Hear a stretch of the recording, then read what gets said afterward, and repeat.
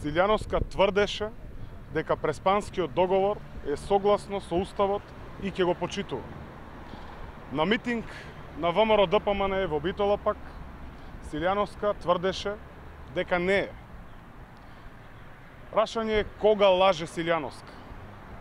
Наутро, кога вели дека нема да го почитува договорот од Преспа и уставното име, Северна Република Северна Македонија, или навечер, кога самата се негира.